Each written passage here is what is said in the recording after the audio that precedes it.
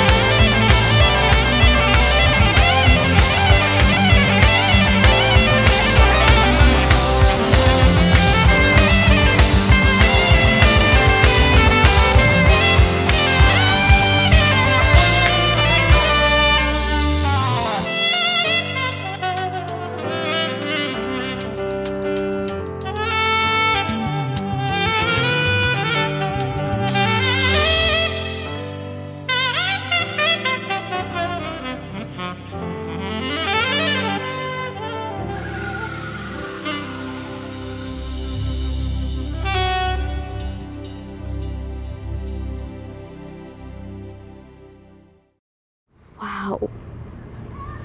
Mr. Richard is excellent.